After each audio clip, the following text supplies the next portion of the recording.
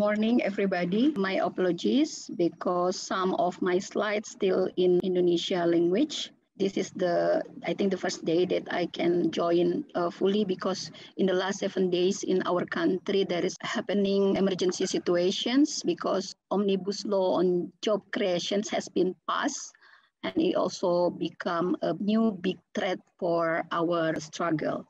So I will share our experience, our context in addressing the challenge that facing by our struggle in terms of promoting agrarian reform and also strengthening peasants' right to land and also on how to facing also the food systems that still not addressing people-based situations. Still uh, for the context and emerging challenge, I think we realize that capitalism systems that also making the development models become our major issues in pursuing and sustaining our land rights. In Indonesia situations, even though we already have agrarian reform policy, still long ride for peasants, for small scale farmers to get their rights to lands.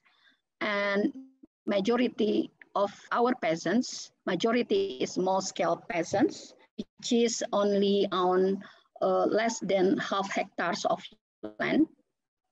And there is a big allocations, thousands of hectares for mining, thousands of hectares for plantations, monoculture systems, and also big portions of land also for forest industry. And it's most of in our country is overlap with people's land rights.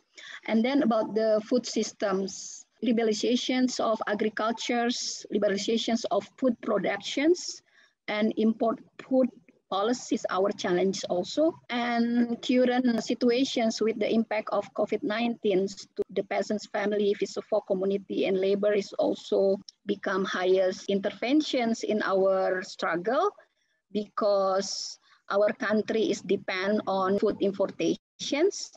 So the good thing that now the states is dependent on small scale producers like peasants family and also fisherfolk community that produce uh, food. And then there is a major situations which thousands of laborers is also being fired because the economic crisis. It's become also challenges, but also uh, opportunity for our movement to, to connect each others and then there is, like I said before, about policy paradox between agrarian reform, but also in the same time, still strong land market system for big holder are still happening. And then the next challenge is also how to consolidate and to unite our social capital between the movement. This is just an overview where our grassroots member has reclaimed their land. There is a 553 villages with over almost 700,000 hectares and thousands also of households. This is basically overlapped with many concessions in plantations, forestry concessions. So this is still a big challenge for us to getting land rights. Some has been redistributed but majority of our locations still facing the challenge to getting the full rights. But our movement should also transforming, not just only waiting for the state or the government to implement agrarian reform, but also how we as the movement should transforming our struggle also. So in our context, KPA with the members especially peasants members, creating an approach which is people-based agrarian reform village, where in those locations that has been reclaimed, we do a four step on how to transforming our struggle. First is transforming land control and ownership, even between the families, between the landholder among the peasants. So there is no injustice situations in the village level. And then how to transforming land use and village visions also on how to allocate land in ourselves for our visions, for our dream about the justice in village level, and then transforming land management and productions, and then transforming distributions and consumptions on how rural community can really gaining their food sovereignty and also how to have food productions also to be distributed to another village or to city. So this is basically our locations in 23 province in 550 villages. We do mapping, we do land managements and also productions uh, collectively, individually. So it depends on their own context. So this is the agricultural productions from our grassroots members that's still facing the challenge also on how to gaining the rights through agrarian reform policy. So this is on how we're facing the challenge during the pandemic COVID-19 situations. Our organizations having this scheme on how to collect and how to distribute the food productions from our people-based agrarian reform locations. So during the COVID-19, we are trying to prioritize our market, not public at large, but only to distribute our food productions from all the villages to the priority consumers. We collaborate with the labor movement.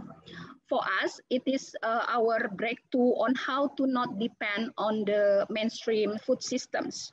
So we try to create our systems and collaborate with the labor unions as our market.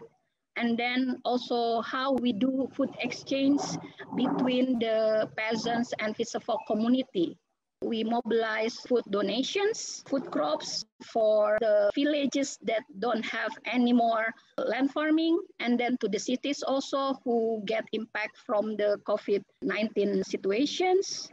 And then we also build our solidarity-based economy on how to collect and to produce the food, distribute to the priority consumers, which is mostly poor community in cities, in urban areas, and also with the labor union.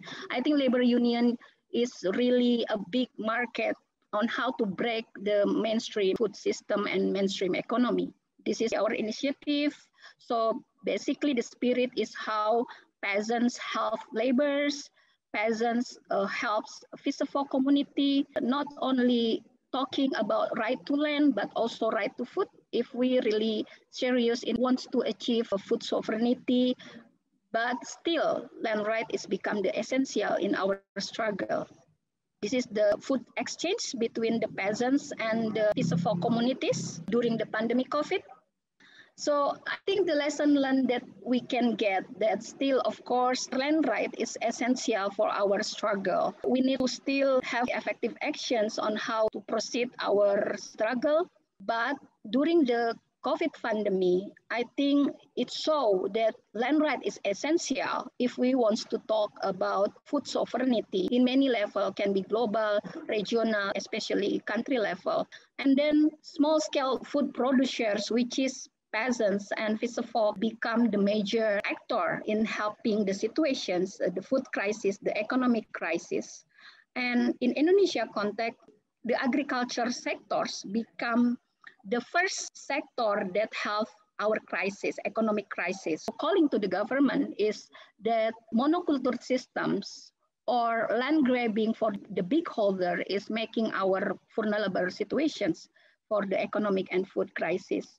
So the recommendations, I think we need to still continue to have effective actions to fight uh, land grabbing and criminalizations that still facing by the peasants and land rights activists even during the pandemic.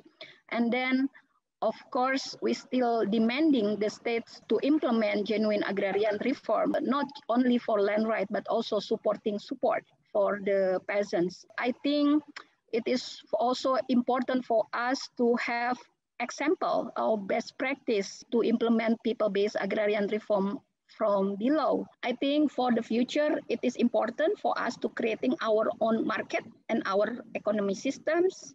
And social capital is important and also need a strong relations between peasants and labor movement and also youth and women in rural are essential to the movement. So I think empowerment for young generations in rural regenerations and women are important for us. Thank you very much. Mabuhay ang pamilyang magsasaka.